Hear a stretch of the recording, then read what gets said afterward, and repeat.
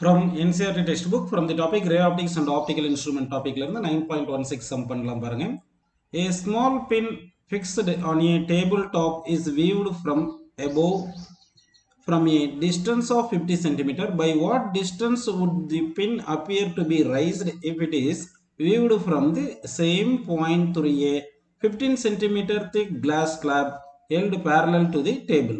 Refractive index of glass equal to 1.5. Does the answer depends on the location of the slab? So இந்த கொஸ்டினில் என்ன கொடுத்துருக்காங்க பார்த்தீங்கன்னா வந்து ஒரு பின் வந்து டேபிள் மேலே ப்ளேஸ் பண்ணியிருக்காங்க. அந்த பின்னை வந்து என்ன பண்ணுறோன்னா ஒரு கிளாஸ் த்ரூ கிளாஸ் ஸ்லாப் பார்க்க போகிறோம் அந்த கிளாஸ் ஸ்லாபுடைய திக்னஸ் ஃபிஃப்டீன் சென்டிமீட்டர் இருக்குது அதனுடைய refract index one point five இருக்குது அப்படி இருந்துச்சுன்னா அந்த பின் வந்து எவ்வளோ ஹைட் ரைஸ் ஆன மாதிரி நமக்கு தெரியும்னு கொஸ்டின் கேட்டிருக்காங்க. அடுத்து வந்து இந்த ஆன்சர் ரைஸ் ஆனது வந்து depends on location of the ஸ்லாபா independent of location of the ஸ்லாபா அப்படின்னு கேட்டிருக்காங்க. சரிங்களா? இப்போ நம்ம என்ன பண்ணலாம்னா வந்து ஒரு இங்கே டேபிள் இருக்கிற மாதிரி அசியூம் பண்ணிக்கிங்க. இதுதான் வந்து டேபிள் அசியூம் பண்ணிக்கலாம்.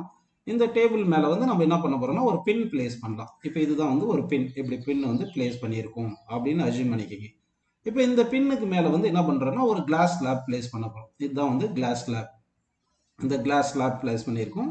இந்த கிளாஸ் ஸ்லாபுக்கு திக்னஸ் எவ்வளோ கொடுத்துருக்காங்க பார்த்தீங்கன்னா வந்து ஃபிஃப்டீன் சென்டிமீட்டர்னு கொடுத்துருக்காங்க. ஃபிஃப்டீன் சென்டிமீட்டர் அப்படின்னு கொடுத்துருக்காங்க. ஸோ இந்த பின்னை வந்து த்ரூ கிளாஸ் ஸ்லாப் வந்து பார்க்க போகிறோம் above the table with the eye help of eye அப்படின்னு வச்சுங்க இப்படி பார்க்க போகிறோம் இந்த ஹை ஐ வந்து எவ்வளோ ஹைட்டில் இருக்குது பார்த்தீங்கன்னா இந்த நம்ம பார்க்குற பொசிஷன் ஃபிஃப்டி சென்டிமீட்டர் அப்படின்னு கொஷனில் கொடுத்துருக்காங்க. இப்போ எவ்வளோ ஹைட்டு ரைஸ் ஆகிருக்கும் அப்படின்னு கேட்டிருக்காங்க. அப்படின்னா நம்ம ஷிஃப்ட் கண்டுபிடிக்கணும். இந்த ஷிஃப்ட்டுக்கு என்ன ஃபார்முலா அப்படின்னு பார்த்தீங்கன்னா thickness of the slab into one minus one by refractive index அப்படின்னு எடுத்துக்கணும். இங்கே ரிஃப்ராக்ட் இண்டெக்ஸ் வந்து ஒன் பாயிண்ட் ஃபைவ்னு கொடுத்துருக்காங்க. அதாவது refract index one point five அதை நம்ம வந்து த்ரீ பை டூன்னு கூட எழுதிக்கலாம்ப்பா.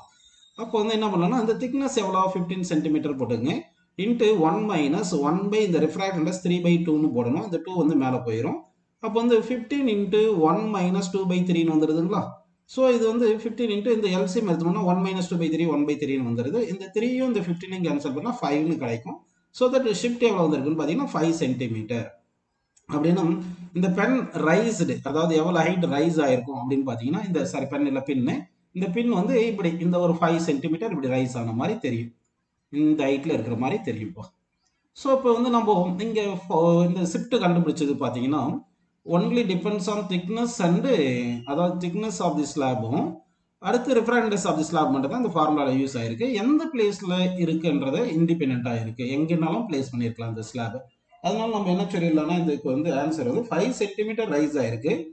இது வந்து இந்த இதுலேருந்து நம்ம ரேடியோகிராம் கூட வரைஞ்சிருந்தா இந்த மாதிரி தான் தெரிஞ்சிருக்கும். இப்போ வந்து இந்த லொகேஷன் ஆஃப் தி ஸ்லாப் வந்து இண்டிபெண்ட் ஆஃப் தி பொசிஷன் அப்படின்னு நம்ம எடுத்துக்கலாம் இப்போ ஆன்சரில்